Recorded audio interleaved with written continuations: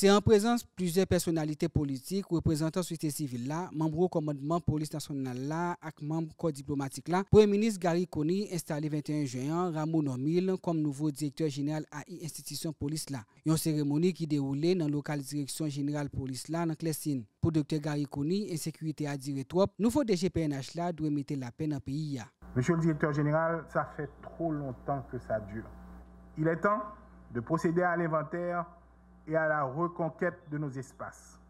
Car aucune entité, quelque puissante qu'elle puisse être, ne doit concurrencer l'État, seul détenteur de la violence légitime. Votre mission, monsieur le directeur général, est de faire de la police nationale d'Haïti ce qu'elle doit être, cette force capable d'assurer la sécurité de chaque Haïtien. Pour l'essentiel, il s'agit de rétablir la confiance, de combattre la violence, de trouver des solutions urgentes pour qu'un climat de paix soit instauré de manière durable dans le pays. Nous comptons pile que avons déjà accepté responsabilité pour le travail côte à côte même pour attaquer la question de sécurité à droite. Nous ne pas perdre une seconde, nous ne pas perdre une minute. Nous avons commencé le travail tout de suite. Krasé gang criminel yo rétabli l'ordre sur tout territoire national là. Yon mission Nomil Ramo dit paraît pour l'accomplir. Pour s'arriver fait, nouveau DG a demandé collaboration tout membre commandement avec tout policier yo. Il était profité s'allier particulièrement mais moi tout policier qui tombé dans le cas d'un acte violence gang criminel yo.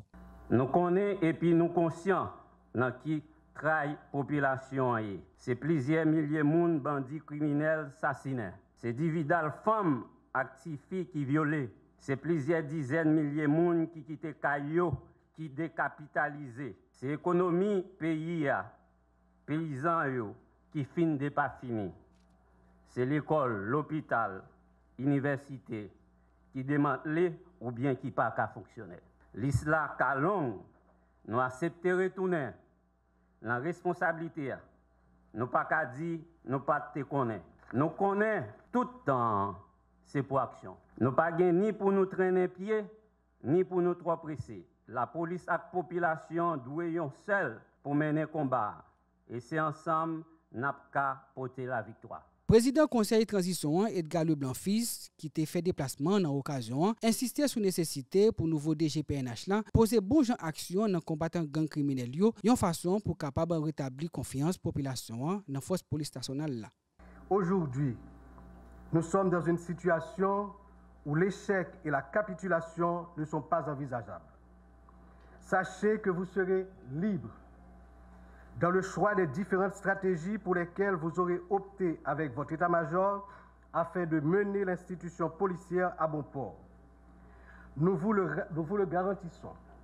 Le Conseil présidentiel et le gouvernement du Premier ministre Gary Conning n'exerceront aucune forme de pression sur vous.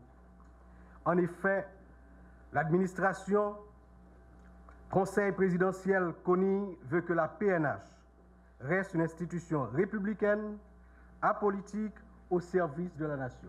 Ramon Omil t'est passé déjà dans tête police nationale là, dans l'année 2019 pour arriver 2021. Actuellement, il remplacé France LB qui passé deux ans et huit mois dans la direction générale PNH là.